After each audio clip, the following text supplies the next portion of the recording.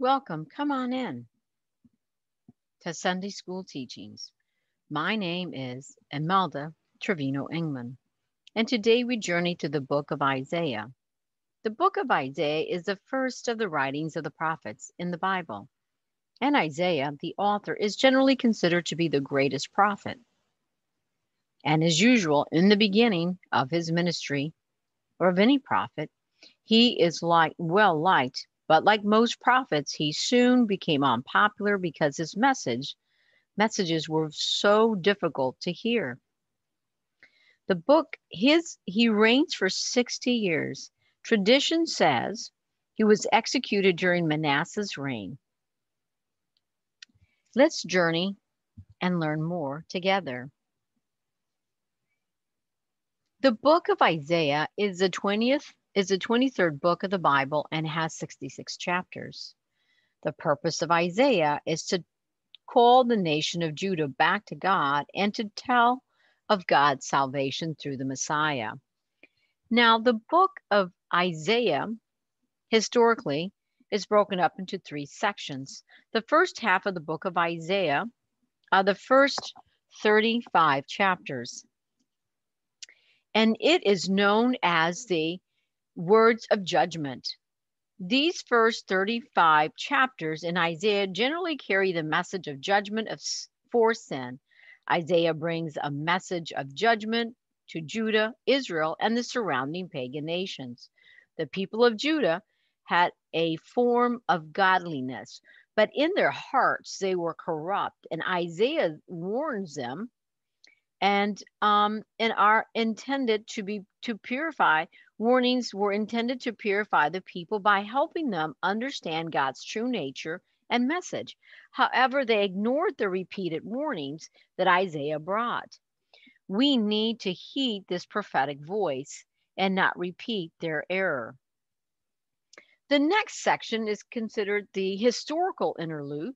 It's four chapters, and, and that is placed right between the first and what they call the second main part of Isaiah. And there we find a description of the Assyrians' attack against Judah and their defeat, as well as Hezekiah's healing of a sickness.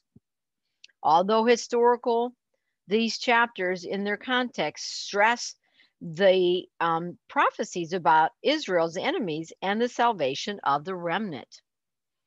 The second major section deals with God versus idolatry, believe in truth, suffering in bringing salvation, and the end of the days of God's chosen people, known as words of comfort.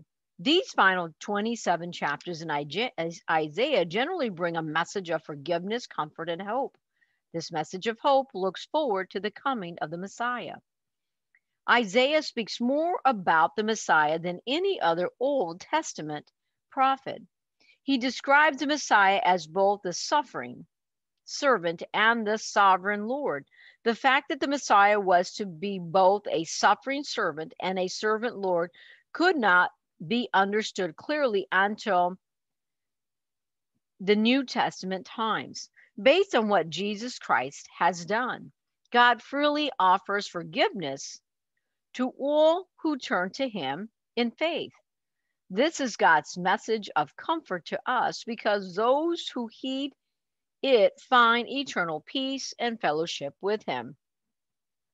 Let's find out, let's take a look at what are some of the main themes found in the book of Isaiah. Well, holiness is one of those. God is highly exalted above all his creatures. His moral perfection stands in contrast to evil people and nations.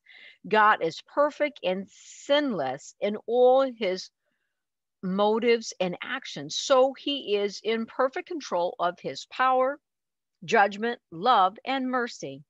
Because God is without sin, he alone can help us with our sin. His holy nature and our standard for mortality is only right that we regard him as supreme in power and moral perfection. We must never treat God as common and ordinary. He alone deserves our devotion and praise. He is always truthful, fair, and just. Punishment. Because God is holy, He requires his people to treat others justly. He promises to punish Israel, Judah, and other nations for faithful, faith, faithless immortality and idolatry. True faith had degenerated into national pride and empty religious rituals. We also must trust in God alone and, and fulfill his commands. We should not forsake justice nor give in to selflessness. If we harden our hearts against God's message, punishment will surely come. Salvation, because God's judgment is coming, we need a Savior. No person nor nation can be saved without God's help. Christ's perfect sacrifice for our sins is foretold, portrayed in Isaiah.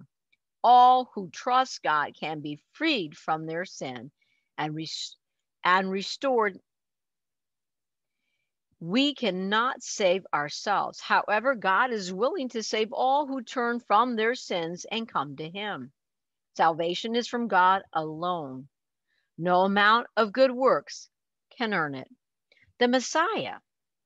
Isaiah prophesied that God would send the Messiah to save his people. He would set up his own kingdom as the faithful Prince of Peace, who rules with righteousness. He would come as sovereign as a sovereign Lord, but first he would come as a servant who would die to take sin away. Because of this, our trust must be in the Messiah, not in ourselves or in any nation or power. We have no hope unless we believe in him. Trust God fully and let him rule in your life as the sovereign Lord. Hope. God promises comfort, deliverance, and restoration in his future kingdom. The Messiah will rule over his faithful followers in the age to come. His hope is possible because Christ is coming. We can be refreshed because compassion is available to those who repent. No matter how bleak the situation or how evil the world, we must continue to be God's faithful people who hope for his return. Beloved brothers and sisters, as you journey through the book of Isaiah, imagine this strong and courageous man of God, fierce, fierce, fearlessly proclaiming God's word. And listen to his message. Return, repent, and renew in relationship, in relation to your own life then trust in God's redemption through Christ and rejoice. Your Savior has come again.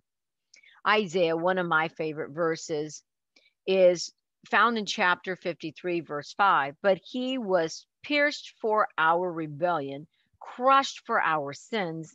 He was beaten so we could be whole. He was whipped so we could be healed. Beloved brothers and sisters, I invite you to journey as a family through the book of Isaiah again, the first section, first 35, um, really describes the prophecies. When you look at the next four chapters, talks about the historical piece of the uh, King Hezekiah. And the final 37 chapters bring us words of comfort. Beloved brothers and sisters, until next time, be blessed.